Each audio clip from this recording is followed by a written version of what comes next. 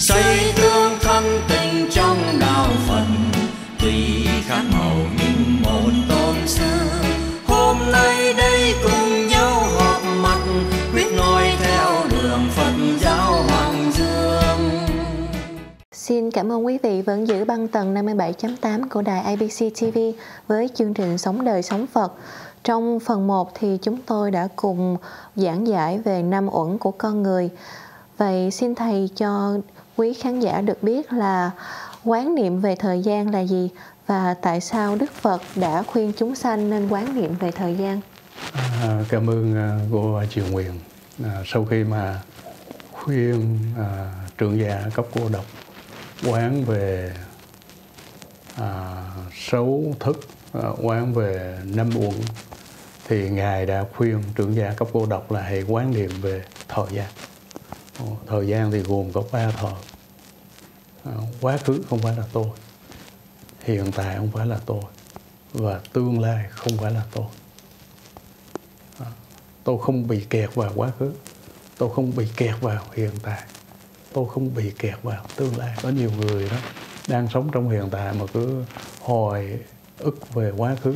À, cho nên nó có những cái niềm đau nỗi nhớ khu ngu nhiều khi à, cái đó nó đã à, trôi qua cả hàng thế kỷ hay cả là à, cả nhiều thập kỷ.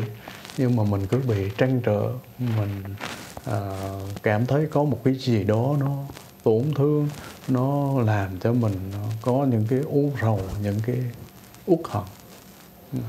Nên nhiều khi mình ăn không được mình ngủ không được.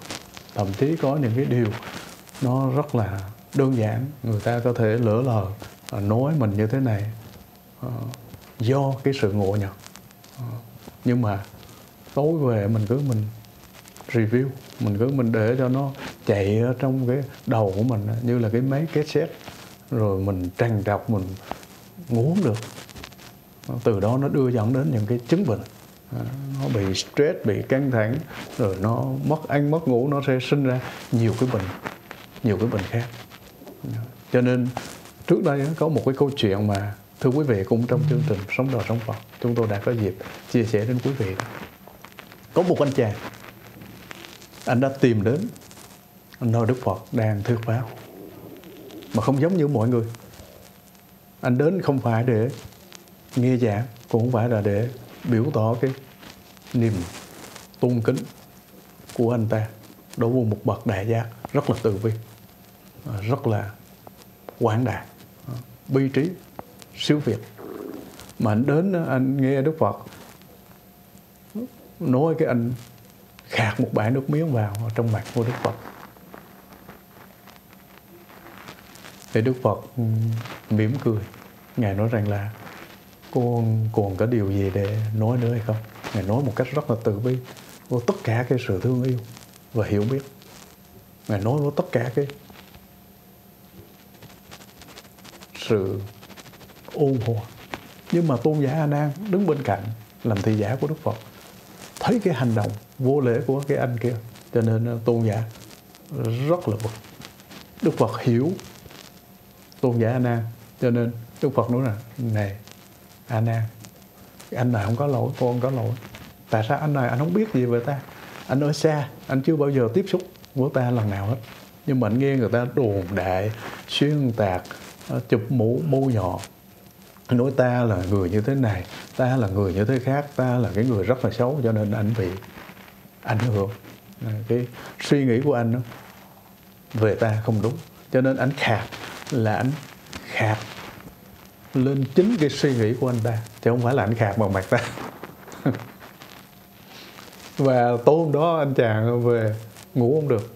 Ờ, thấy tại sao mà đức phật? Vẫn thoải mái, vẫn ung dung tự tại ngài rất là hoan hỷ, rất là bao dung, rất là từ bi trước cái hành động đời phẫn nộ của mình. Cho nên ngày hôm sau anh đến anh cũng không biết cách làm cái gì, anh đảnh lễ đức phật, mục đích là anh sám hối. Thì đức phật cũng hỏi chứ con còn có điều gì để nói nữa không? Bởi vì khi anh khạc mà anh không nói gì hết. Ờ, những cái lúc mà phẫn nộ, ngôn ngữ trở thành vô nghĩa. Ờ, mà cái cái hành động là một cái loại ngôn ngữ khác. Rồi anh đảnh lễ đức phật anh lệ. Đó cũng là một cái loại ngôn ngữ. Thì đức phật mới hiểu được cái tâm trạng của anh, nó rất là thống hối. Hỏi thì anh nói là, ngày hôm qua bạch ngài, con xúc phạm ngài, con vô lễ vì con không hiểu ngài. Ngày đức phật nói, thôi, hãy bỏ qua cái chuyện này.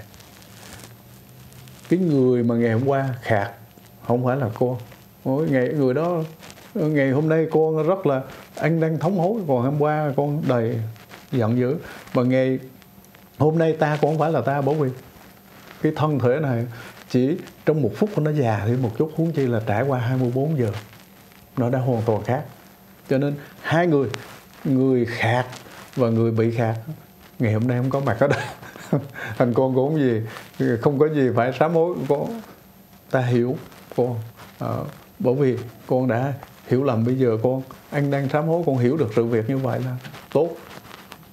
Cho nên anh đã rất là hối hận và anh cúi đầu đánh lễ xin quy y với Đức Phật. Và sau đó anh tinh tấn nỗ lực tu hành và cuối cùng anh đã chứng đạo. Điều đó, cái câu chuyện đó cho thấy là quá khứ không phải là hiện tại. Hiện tại cũng không phải là tương lai. Nếu mình cứ hồi ức vào quá khứ, mình ấm ức, mình sẽ khổ đau mình sẽ sầu muộn và vân vân một cái sống trong hiện tại. Here now ở đây và bây giờ mới là quan trọng. Mà ở đây bây giờ nó chứa được cũng hết á. Chứ còn nếu mà mình cứ cứ chạy theo tương lai à, tương lai chưa đến quá khứ đã qua mà mình không sống cho cái gọi là hiện tại thì mình sẽ không có một đời sống thật sự hạnh phúc thật sự an lạc. Cho nên ngài xá lợi phất khuyên trưởng già cấp cô độc đừng xem cái quá khứ là tôi, hiện tại là tôi, tương lai là tôi, và đừng có bị vướng mắc vào đó. Và đó là cái điều mà nó cũng áp dụng cho chính mỗi một chúng ta. Lời khuyên của ngài đối với trưởng giả cấp cổ độc, nhưng lời khuyên đó rõ ràng là nó cũng dành cho tất cả mọi người. Nếu mà chúng ta ứng dụng những lời khuyên của tôn giả xá lợi vóc vào đời sống thực tế của mình trong từng mỗi một phút giây. Thì thưa quý vị chúng ta sẽ rũ bỏ tất cả những cái phiền não khổ đau. Chúng ta sẽ giải thoát tất cả những cái sự buồn phiền cái gọi là thống khổ ở trong đời sống của mình. Dạ. dạ vâng thưa thầy. Vậy thì bởi vì quá khứ đã qua và hiện tại à, và tương lai chưa đến thì chúng ta phải biết uh, trân trọng hiện tại và và biết uh, quý những gì mà mình đang có.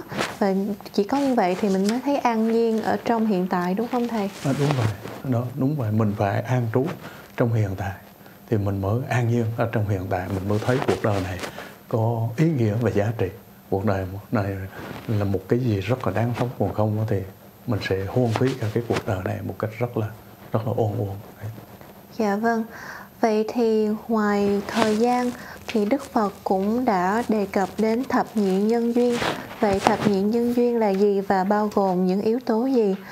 Nếu chúng ta thập nhị nếu chúng ta quán niệm thập nhị nhân duyên thì sẽ được những lợi ích gì? Xin thầy cho quý khán giả được biết. À, cảm ơn cô Triệu Nguyện. À, về thập nhị nhân duyên đó thì chúng ta thấy nó rất rất là dài.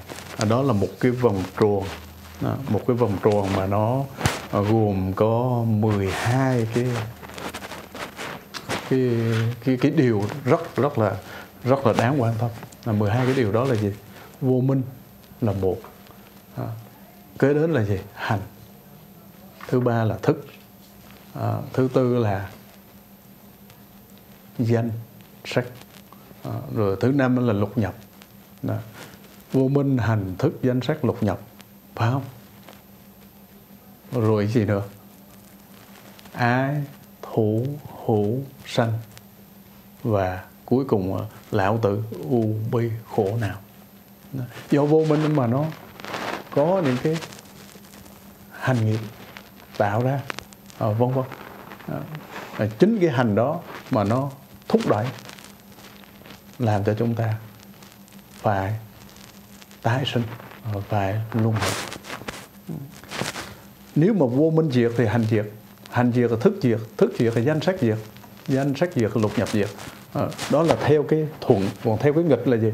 Từ mà lão tử ờ, tức là tử già rồi bệnh chết vân vân thì nó đi ngược lại.